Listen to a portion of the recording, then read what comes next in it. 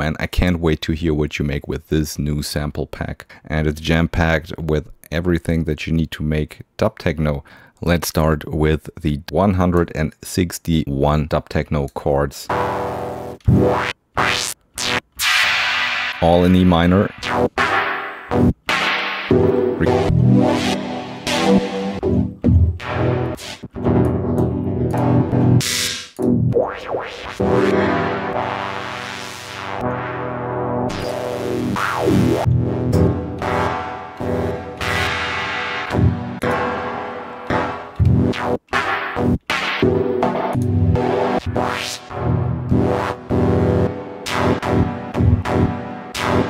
We kept it raw because we know and I know that you like to mangle the synths yourself as raw as possible so you can add all the filters and delays and reverbs that you have. What else we got? Some atmospheric pads and textures.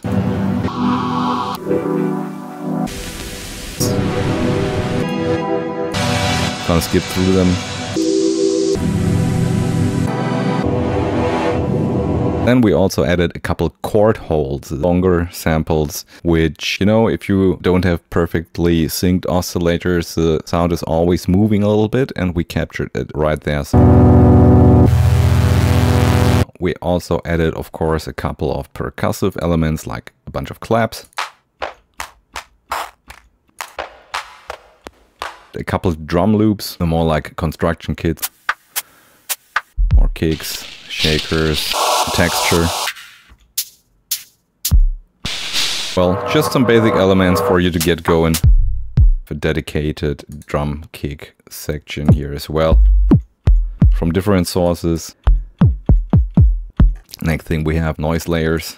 Just a little bit of that grainy stuff. Always great for dub techno. And last but not least, just a couple sub basses. There you have it. Our new Dub Techno sample pack is available now. Links in the bio. Let's check it out.